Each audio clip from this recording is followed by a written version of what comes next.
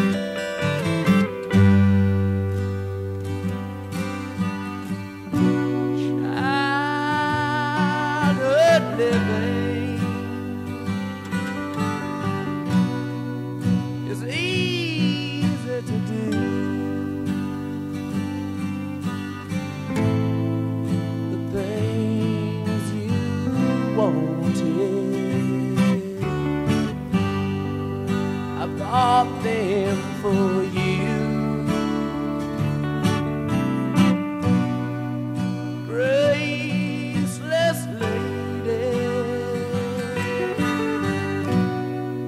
you know who I am.